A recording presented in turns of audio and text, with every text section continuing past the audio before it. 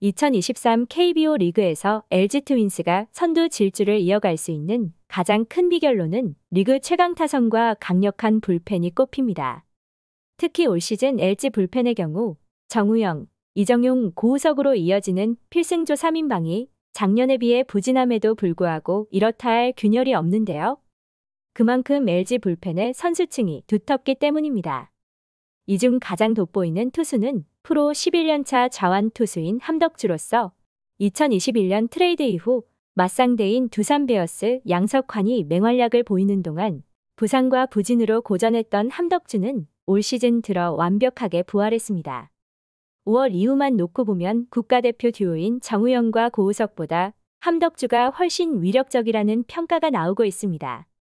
5월 이후 24경기에 등판한 함덕주가 자책점을 허용한 경기는 6월 28일 SSG 랜더스전 단 한 경기뿐으로 해당 경기를 빼면 5월 2일부터 7월 2일까지 두 달간 무결점 투구를 보였습니다. 이 같은 함덕주의 위력투에 힘입은 LG는 다른 필승조 투수들을 좀 더 여유롭게 활용할 수 있게 됐는데요.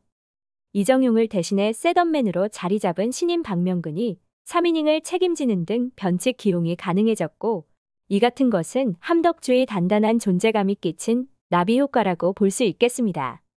지난해와 LG 불펜이 달라진 점은 함덕주의 영향력이 비교할 수 없이 커졌다는 것으로 따라서 함덕주가 전성기 시절 이상의 기량을 발휘하자 예비 FA로서의 가치도 급상승하고 있습니다. 2023년 연봉이 1억 원인 함덕주는 시즌 후 FA 시장에서 보상 선수가 필요 없는 C등급 FA로 분류될 예정입니다. 만약 함덕주가 현재 추세를 유지한다면 20대 후반인 리그 정상급 불펜 투수를 큰 부담 없이 영입할 수 있는 최고의 기회이기 때문에 숨막히는 물밑 경쟁이 예상되는데요. 검증이 끝난 왼손 불펜 투수는 언제나 수요가 있는데 함덕주처럼 마무리 경험까지 갖춘 투수는 말할 필요조차 없습니다. FA 함덕주를 원하는 팀은 서너 팀으로 특정되는 것이 아니라 10개 구단 전체가 될 확률도 매우 높을 것으로 보입니다. 한편 3년 전 LG로 트레이드된 이후 함덕주는 부상과 부진으로 인해 두산 시절과 비교해 힘겨운 시간을 보냈습니다. 지난 2년의 절치부심을 거쳐 부활에 성공한 함덕주는 현재 추세만 유지하더라도 시즌 종료 후 FA 시장 최대어는 기정사실로 여겨집니다. 시청해주셔서 감사합니다.